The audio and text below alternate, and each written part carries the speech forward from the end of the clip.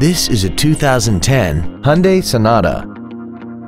This four-door sedan has a five-speed automatic transmission and a 3.3-liter V6. Its top features include a double wishbone independent front suspension, traction control and stability control systems, XM satellite radio, aluminum wheels, and a tire pressure monitoring system. The following features are also included. Cruise control, full power accessories, a leather-wrapped steering wheel, a four-wheel independent suspension, a security system, a chrome grille, front fog lights, dusk sensing headlights, privacy glass, and this vehicle has less than 57,000 miles. Call or visit us right now and arrange your test drive today.